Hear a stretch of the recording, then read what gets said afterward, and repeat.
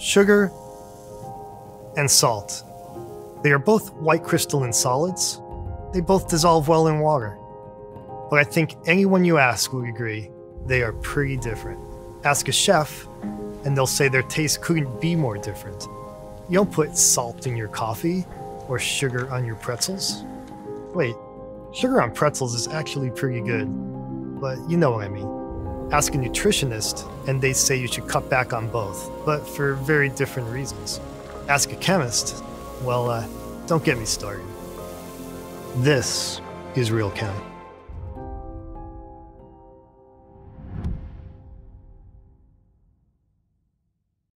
Okay, you got me started. The difference between sugar and salt is all about the way the atoms are held together.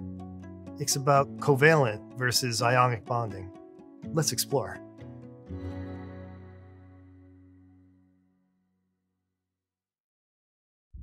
In a covalent bond, the electrons are shared.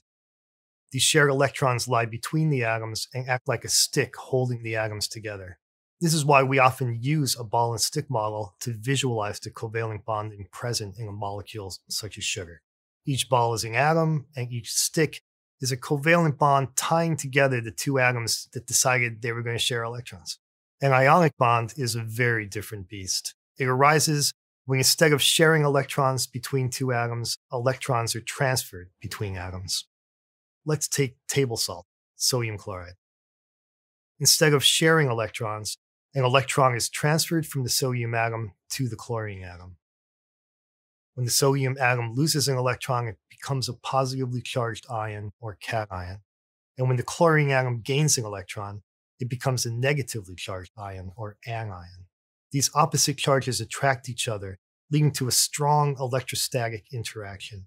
It makes sense to call it an ionic bond because the interaction between the cation and anion is at least as strong as that in a covalent bond. But this ionic bond is quite different from a covalent bond. In an ionic bond, the attraction is just due to electrostatic attraction between the opposing charges on the cation and the anion. In a crystal of sodium chloride, the cations and anions are like spheres that are stacked, so that each cation is surrounded by oppositely charged anions, and each anion is surrounded by oppositely charged cations. In visualizing this stacking, lines are often drawn to make it easier to see how the ions are arranged.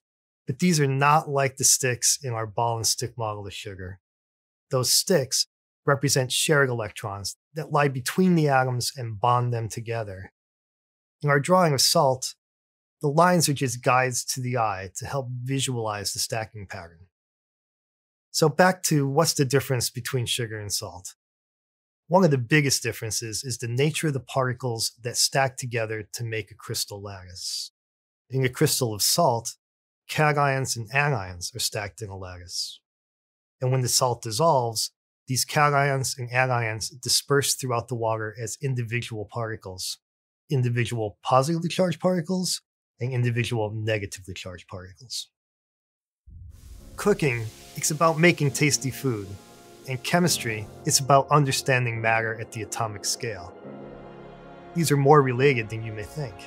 When you taste something, it is because the molecules and the ions in the food are interacting with your taste receptors, and this interaction is occurring at the atomic level. In molecular gastronomy, chefs are using what we know about food at the atomic scale to inspire creative new dishes. So explore and remember to have fun.